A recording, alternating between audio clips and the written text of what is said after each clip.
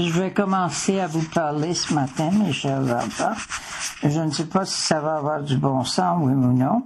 Euh, si je vous parle aujourd'hui, c'est grâce à, mon petit-fils, euh, Eugène, qui m'a offert cette machine.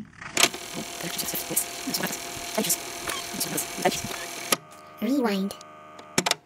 Salut, vous écoutez Rewind, saison 2 du podcast Le ruban de la cassette.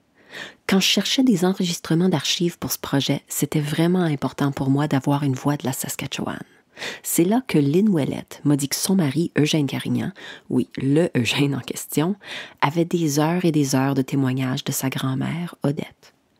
Pour moi, je venais de gagner le gros lot. Je savais déjà qu'Odette Carignan, c'était pas n'importe qui. Je connaissais un peu son roman, Mon Homestead, Mes Amours. Je savais qu'elle avait été très impliquée dans la communauté francescoise et qu'elle était aussi une amie de ma grand-mère.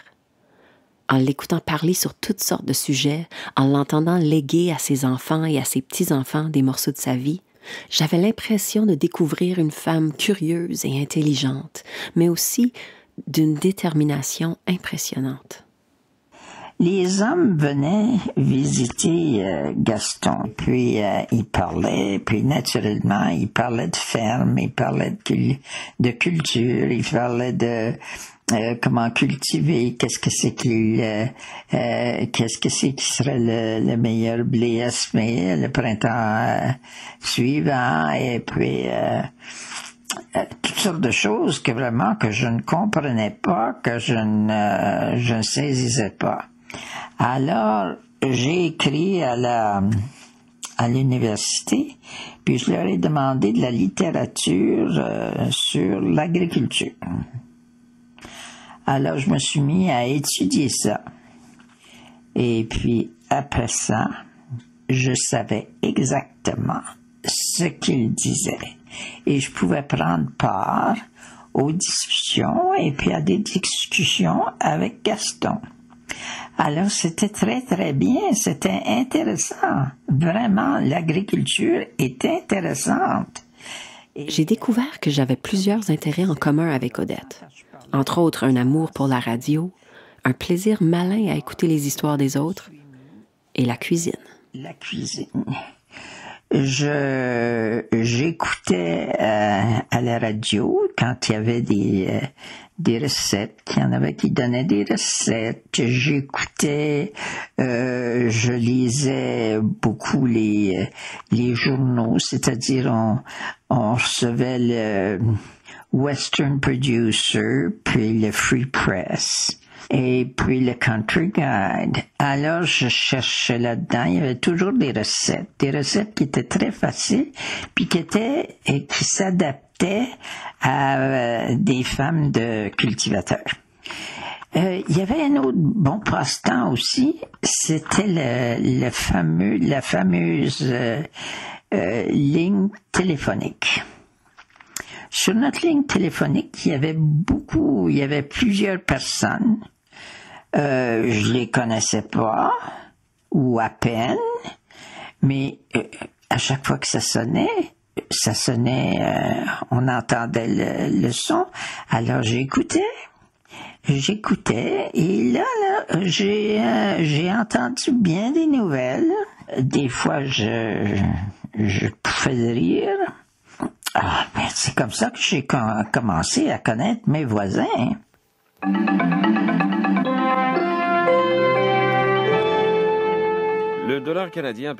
Plus j'apprenais à connaître Odette, plus je voulais lui préparer quelque chose d'extra spécial. Ça va nécessiter un voyage dans le temps. So, moi, j'ai de la route à faire. Vous autres, bougez pas. 690, on en parle d'Assiniboia à Moujdia. Puis là, on a eu l'ouverture de CFRG à Gravelbourg. Ah, quelle fête pour nous! je vous assure, on l'écoutait. Euh, je crois du matin au soir. Ben, euh, je, pas plus je crois, je sais qu'on l'écoutait du matin au soir. Parce que on était dans une euh, dans un endroit où c'est un endroit anglophone. Et puis, euh, il n'y avait presque pas de francophones. On parlait français à la maison. Puis, on tenait que les enfants euh, parlent français et puis qu'ils apprennent le français comme il faut. Mais, euh, vous savez, des petits-enfants, là, et puis... alors, j'avais pas toujours le temps d'être assis à leur, à leur parler. Mais la radio était toujours au poste CFRG pour qu'ils entendent continuellement du français.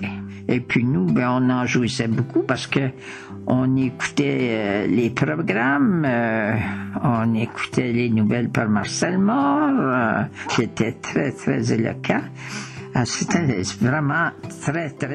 La radio CFRG a été achetée par Radio-Canada en 1973. Mais en 1998, la communauté de Gravelbourg a mis de l'avant le projet de ramener le poste de radio au village. CFRG est maintenant membre de l'Alliance des radios communautaires du Canada.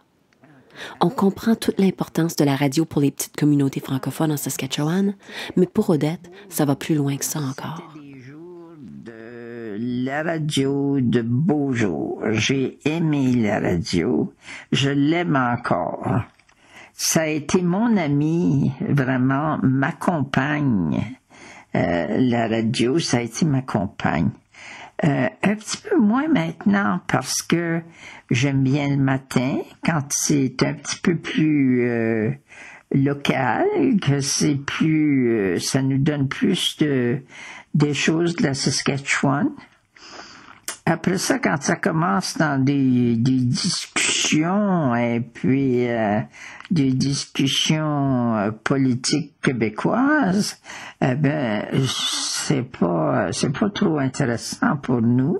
On aimerait on aime bien entendre parler de notre monde et puis euh, de de nos petits potins, de nos petits potins de voisins. enfin, euh, mais c'était pour vous dire, c'était pour vous dire comme j'aimais la radio et puis comme euh, ça m'a accompagné euh, pendant bien des heures, je pense que j'aurais été je, me serais senti beaucoup euh, à l'étranger. Je me serais ennuyé beaucoup plus si j'avais pas eu la radio pour m'accompagner.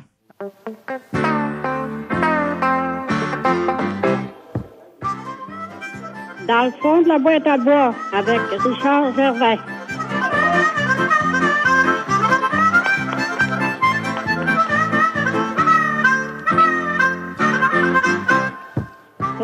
C'est dans le fond de la boîte à bois dans le cadre de la Grande Virée de Radio-Canada. Tu sais, quand je vous disais que j'allais faire un voyage dans le temps.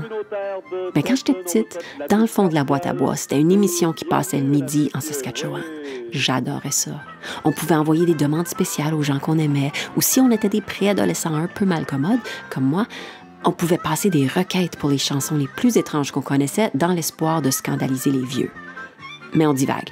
J'ai voyagé jusqu'ici pour une raison revenons à Odette.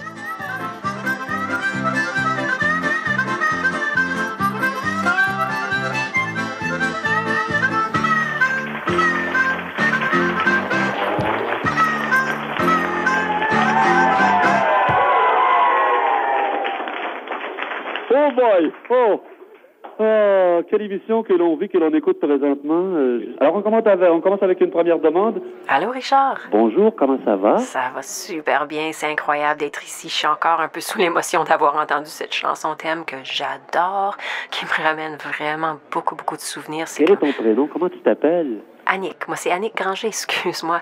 Euh, j'arrive de loin. Écoute, c'est dur à expliquer un petit peu, là, mais... Euh, Quel âge as-tu? Hmm, ça, c'est compliqué. Mais au moment où on se parle, en 1989, ben, j'ai 12 ans. Ah. C'est quelque chose, hein? Mais là, moi, j'arrive de l'an 2022.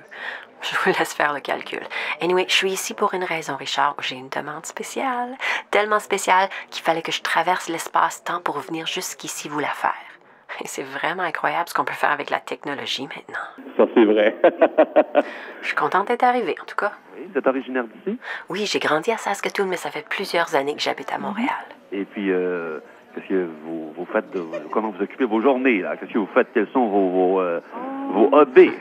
ben, ces jours-ci, je réalise des balados. Je, je, sais que vous connaissez pas encore ça en 89, mais euh, puis j'écris des chansons. Écoute, c'est rendu même plus qu'un hobby. J'arrive à gagner ma vie avec ça. C'est fou. Hey, félicitations. Merci. Et puis, euh, bon, euh, est-ce que vous avez déjà, je sais pas, donner des spectacles mm -hmm. à l'extérieur aussi, là? Ben oui. Ben, c'est pas un spectacle? Ben oui, souvent, là, mais... Et on aime euh, ce travail, j'imagine mm -hmm. que oui, hein? Oui, j'adore ça. En fait, c'est presque comme faire de la radio, un peu comme toi ici, à, dans le fond de la boîte à bois.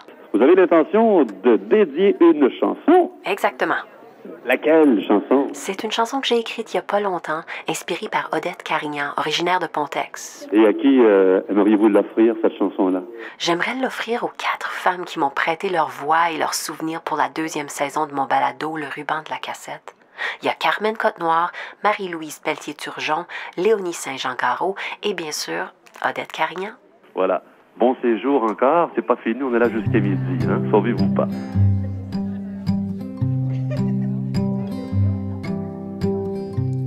Gaston s'est levé avant l'aube. La moisson n'est pas encore finie. J'ai un bébé qui dort et le vieux transistor qui me tient compagnie. La voisine habite à 3000 je l'écoute sur party line. C'est aussi un peu ça, les nouvelles locales. Le potin matinal, y a toujours le son d'une voix qui me ramène à moi, qui me murmure des mots. Je ne suis jamais seule tant qu'il y a radio. Oh, quand Gaston entre le soir, j'ai tout plein d'histoires, les plus récentes infos. Et j'aurais préparé une recette que j'ai trouvée dans le Western Producer. J'écouterai CFRG du matin jusqu'à la tombée du noir. Les annonceurs, oh, comme il est éloquent, ce sacré Marcel Moore. Des fois sur l'heure du midi, j'appelle dans le fond de la boîte à bois. Quand j'envoie des chansons par-delà l'horizon, la distance n'est pas si grande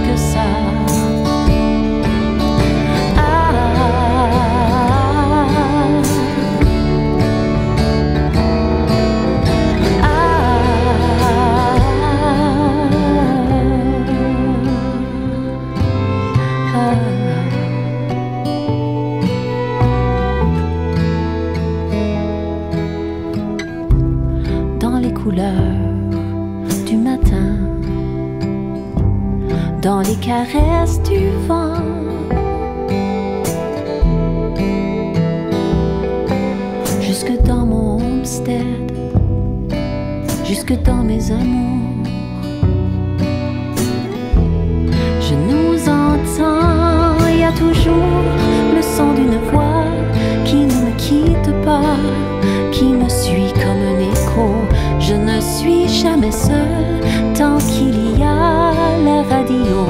Oh, quand Gaston entre le soir, j'ai tout plein d'histoires, les plus récentes infos. Et dans mon livre à moi, il y a tant de choses qu'on n'apprend pas dans le Western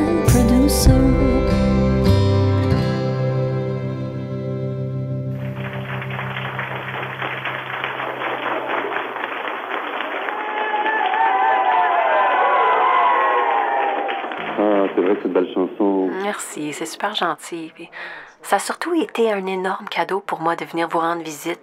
dans le passé ou dans, dans mon passé pour envoyer cette chanson-là. Voilà, le message est fait. C'est dans le fond de la boîte à bois qui est là pour ça. Merci. Bye, Richard. Et puis, il y a une autre chose, c'est que j'adore les plaines. J'adore ma province. Les plaines sont tellement belles. sont tellement belles. On voit si loin. Il y en a qui veulent être sarcastiques puis qui disent on voit loin puis on voit rien. Mais vraiment, si on s'arrête, on voit quelque chose. C'est le firmament qui, qui est à la rencontre de la terre. Les levées de soleil, les couchers de soleil.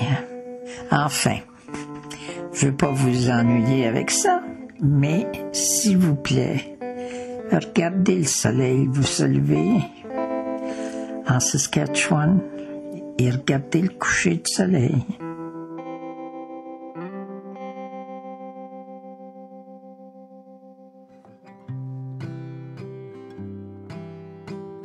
Il n'y a juste pas assez de mots pour dire combien je suis reconnaissante envers les gens qui m'ont aidé tout au long de ce projet. François Larivière qui a écouté tous mes mix, François Archambault qui m'a conseillé sur la scénarisation, Éric Robitaille, témoin de mes premiers brouillons, Benoît Archambault, mon oreille attentive et encouragement sans fin. Merci Lynn Ouellette et toute l'équipe de l'Atelier culturel. Merci Eugène Carignan. Merci aux musiciens Olaf Gondel, Pascal Racine-Venn, Cédric Dainlavoie et Alexis Campagne, sans oublier Davy Galland au mix des chansons.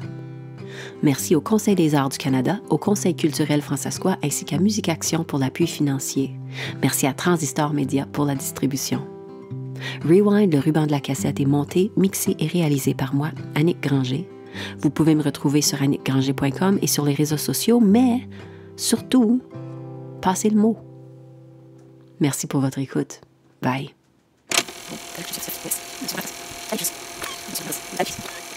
Rewind.